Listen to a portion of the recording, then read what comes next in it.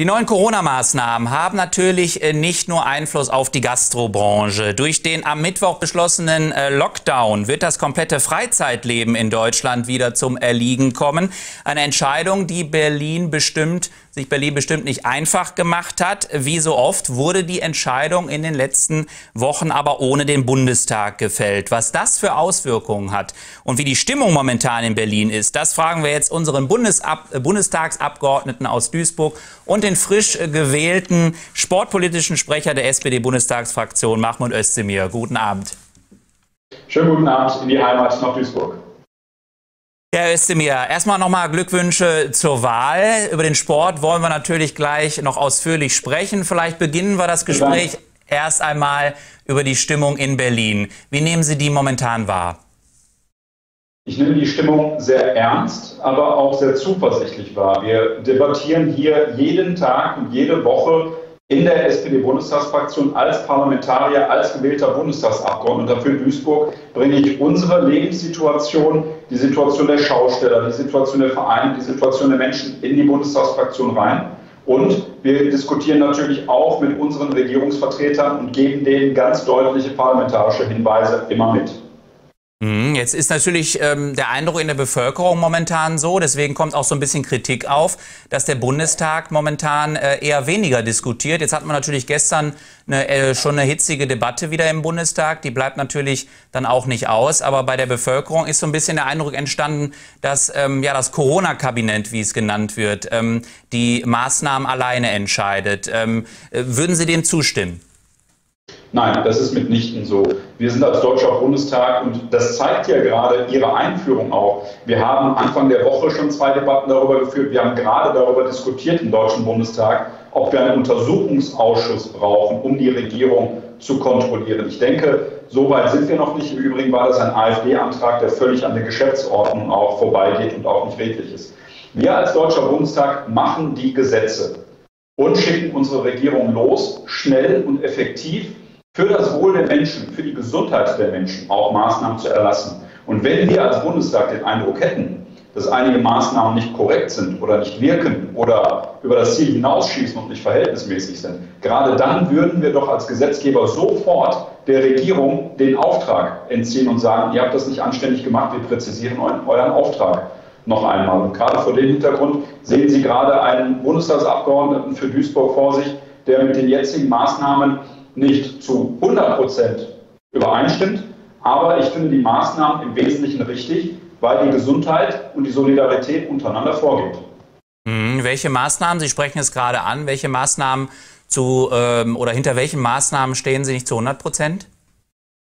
Ich finde, dass man hier deutlich betrachten muss, welche Phänomene haben wir. Wo sind diejenigen, die sich beispielsweise mit Fehlverhalten weit außerhalb des gesellschaftlichen Konsenses bewegen, den wir seit April, Mai mühevoll zusammengeschmiedet haben. Es haben viele Menschen, es haben insbesondere die Selbstständigen, die Gastronomen, die Einzelhändler, die Schausteller, diese haben wirklich, diese haben wir zum Aderlass teilweise gebeten. Und wenn ich jetzt wieder sehe, dass in vielen einzelnen Orten private Feiern mit 30, 40, 50, 60 Leuten durchgeführt werden, dass große Hochzeitsgesellschaften noch durchgeführt werden, dann finde ich, dass wir tatsächlich die Verursacher dieser Situation stärker in den Blick nehmen müssen und nicht die Menschen im Land generell unter äh, Verdacht stellen.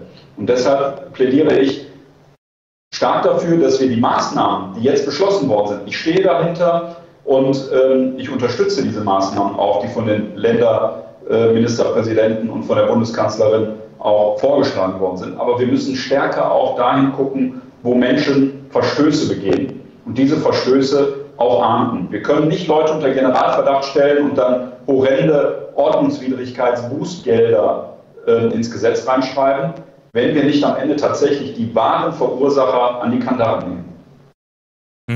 Jetzt haben wir natürlich weiterhin, um nochmal auf den letzten Punkt äh, zurückzukommen, ähm, so ein bisschen das Gefühl, also auch die Bürger, die dieses Gefühl eben auch äh, artikulieren, dass das Vertrauen so ein bisschen äh, verloren geht, gerade weil viele auch sagen, es fehlt so ein bisschen eine Langzeitstrategie. Ähm, nach, jetzt hatten Sie ja schon ein paar ähm, Punkte auch genannt. Wie muss Politik vielleicht da auch versuchen, dieses Vertrauen wieder zurückzugewinnen?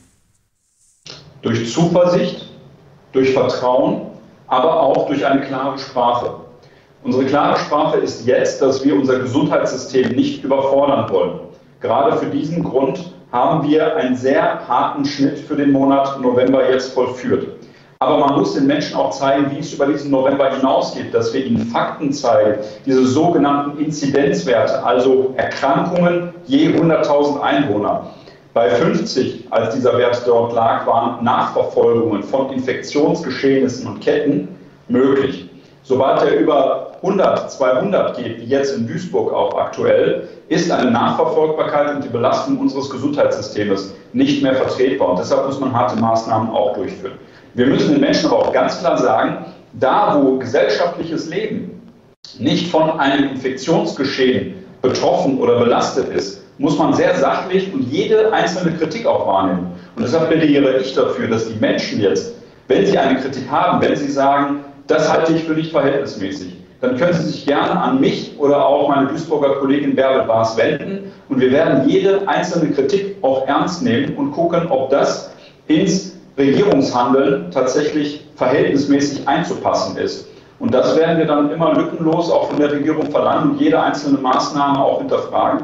Ich finde äh, auch wichtig zu sagen, dass wir jetzt als Staat, die Regierungen natürlich diese Maßnahmen erlassen, dass diese Maßnahmen jetzt vollzogen werden, aber auch, dass der Staat das nicht entschädigungslos geschehen lässt. Es werden ja bis zu 75 Prozent der Ausfälle auch kompensiert werden. Wir haben seit März diesen Jahres erhebliche Corona-Hilfspakete geschnürt, auch für den Sport im Übrigen, auch für Sportvereine, aber auch und gerade für Einzelhändler, für Mittelständler. Und äh, ich sehe ein, dass es wirklich äh, für die einen oder anderen äh, im Moment existenzbedrohend ist und einige mit dem Kopf schütteln und sagen, wir verstehen euch nicht mehr oder wir, mhm. wir haben kein Verständnis mehr für die Maßnahmen.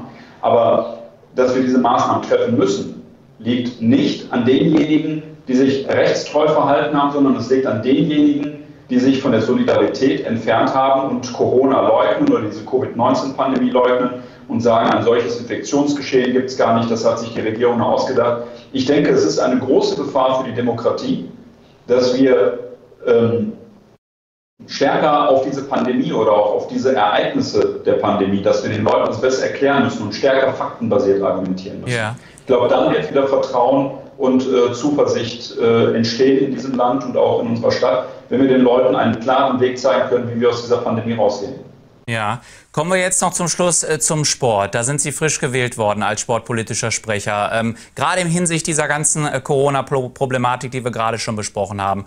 Was, äh, oder, was oder wie kann man da jetzt auch Sportvereine unterstützen oder wie wollen Sie sich da einsetzen, dass eben ähm, ja, auch Sportvereine wieder eine Vision in die Zukunft haben, auch hier in Duisburg?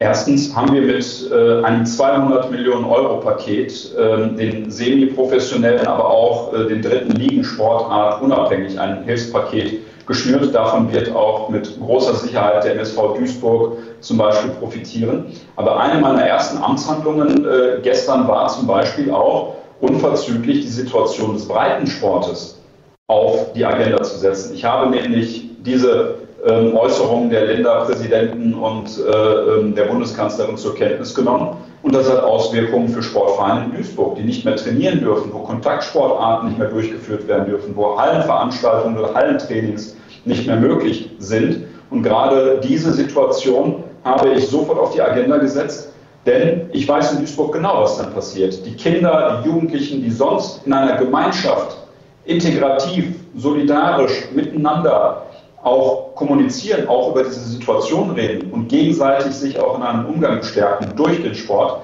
fehlt. Und im Zweifel sind sie dann zu Hause in den eigenen vier Wänden, im eigenen Zimmer, vor der Playstation. Und äh, das sind Dinge, die nicht sein dürfen. Sport ist wichtig. Sport an der frischen Luft ist möglich. Und ich finde auch in äh, engen, strengen, hygienisch möglichen Grenzen sollten wir auch weiter den Sport zulassen. Dann schauen wir da zuversichtlich mit Ihnen in die nächsten Monate und warten, was da noch auf uns äh, zukommt, im positiven wie im negativen Sinne. Vielen Dank erstmal für das Gespräch und dieses Stimmungsbild, auch aus Berlin. Mahmoud Özdemir. Sehr gerne. Grüße nach Duisburg, in die Heimat.